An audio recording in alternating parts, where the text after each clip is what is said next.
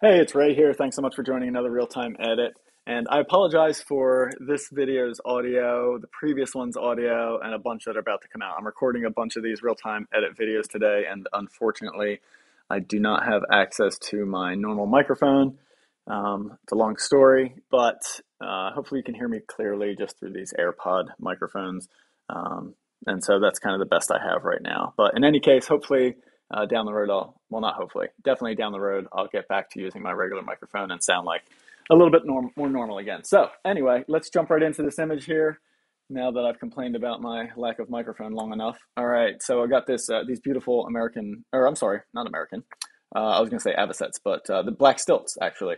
And so photographed these out at the Great Salt Lake during my amazing visit out there in uh, September 2021 here uh, with Marianne Karen. That was just an incredible trip out there. So I'm going to start with the crop, make sure it's straight. Um, I'm going to go cool. I'm going to edit for the top half first here. So I think I want to do kind of an in-between silhouette. So I want to see just a little bit of the detail there. And I do like that cooler top half. Uh, I didn't like it as cyan as it was, but so something like that. Uh, but I really dug the warmer that was happening in the bottom here. So I'm going to throw a gradient in down there. Uh, I'm going to warm it just a little, and then I'm going to try uh, another gradient down at the bottom here because I want to warm just the highlights of that. So I'm going to try, uh, let's see, I guess I'll subtract some luminance range here, and I think if I dial out the black, no, that's the, I got to go the other way. So we'll dial out. Yeah, there, I just want the highlights uh, selected. So we'll leave the shadows kind of out of there. let's see, we'll soften up that range a little bit there. Kind of drop that. That should be good. So let me see what that does, and then I'm just going to crank those those bokeh balls a little bit more. And then actually, you know what? I might bring, oops, I might bring that original gradient up a little higher here to get some more of these, this bokeh that's up in the top portion there. And we'll see how that does.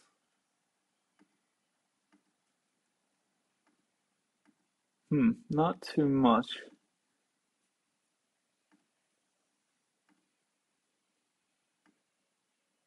There we go.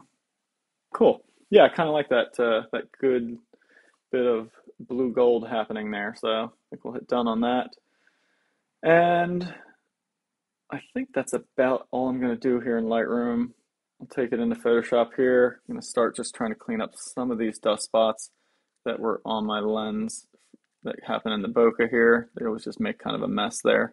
Basically, like from what I understand, it's just any dirt that's on the front of the lens, and I very rarely clean my lens. It's always kind of a hot mess, so got to deal with that a little bit, but not too big a deal. All right, kind of digging the rainbow effect that's happening over there. Um, ooh, I didn't do very good on that clone. Let me smooth that out, kind of blend it better. There we go. All right, so uh, the only other thing I think I want to do is I want to lighten up some of these real dark spots at the bottom. There was a lot of kind of growth that was happening in the bottom there, and I didn't love it. Um, but I, um, there we go. There was nowhere else to shoot, you know, that was kind of the only way to shoot there. Yeah, I didn't like that one. Uh, let me try just going back to cloning here. So yeah, I couldn't really, yeah, this is going to be weird. Guess I just have to leave that. Let me, let me try th something through here. Ah, that's better. Just had to find the right spot. There we go. Some of this could probably go there. Some of that could probably go, nah, I think I'll leave that one alone. Ah, that's actually not too bad. Yeah, just find the right spot to clone from. There we go. Um, so yeah, I just had to kind of shoot there. There wasn't many options, and uh, it would have been nice to not have this growth through there, but you know, hey, do what you can do, right? Um, I'm really unsure about this secondary bird. So I'm gonna try a version without him there, or or her. I have no idea. I guess we'll go with it. Try a version without that bird there. So let me blend this in see what that looks like. There we go. I'm getting used to this new tablet of mine too. So it's just got a, it's a newer version. It's wireless, which is really nice, and actually, oddly enough, a little bit smaller than my previous tablet. But um, yeah, the wireless convenience is just a wonderful thing. So yeah, I gotta say, just having the one bird there is nice. Yep, I think I'll stick with that. So I'll just merge those two retouch layers together. All right, let's actually start tackling the edit on this.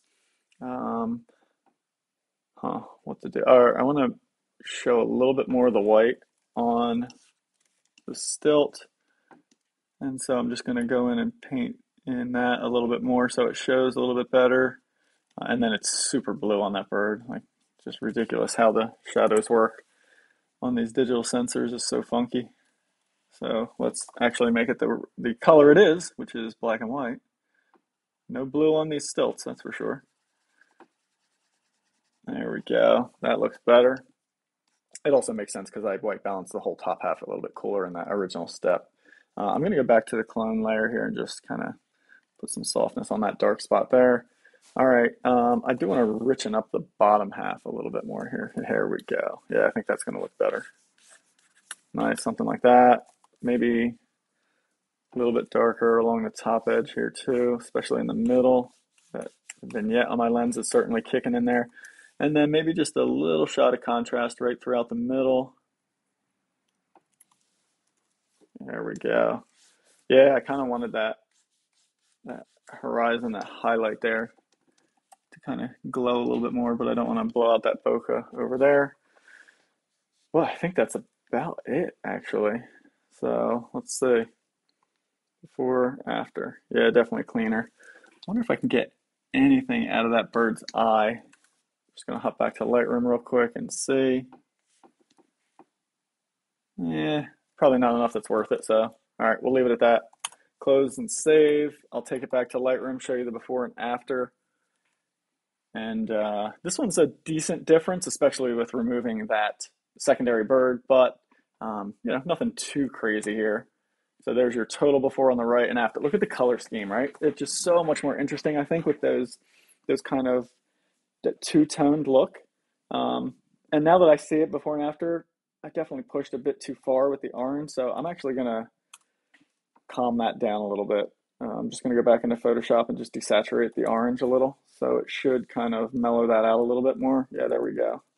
All right, so I want, I definitely want some of that there, but you know, that was so far off the original. I mean, it looked pretty, but it's just so far off the original. I don't know, it's a little bit much for me. Um, I'm fine with shifting white balance globally, especially when it's kind of a silhouette thing, because then it's just a, a bit of a choice. But I don't know. I prefer to not add in color that just never existed. It's more about enhancing or, you know, slightly shifting what was there. And I don't know. I mean, still, you know, I, I still shifted it there, but I guess I just feel a little bit better about that. Um, yeah, so we went from that, or well, there's our start, right? From that to that.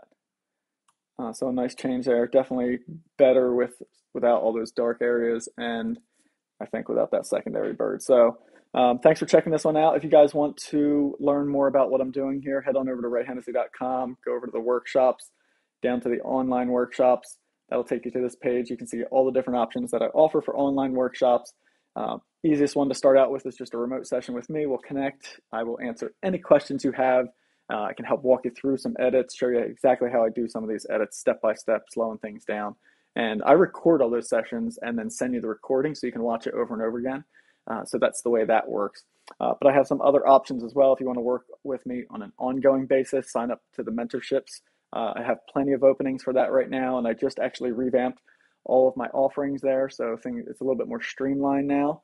Uh, and all of my tiers, all the different tier options for my mentorship now, uh, starting from tier one all the way up to three, are all remote based. So you can work with me from anywhere in the world, which I already work with some amazing people from all over the world. So if you're watching this now and you want to try that, definitely get in touch. I'd love to have you join me on the mentorship stuff. All right. Thanks so much for watching, everybody. Don't miss my podcasts and new photos every day. And I'll see you guys on the next one.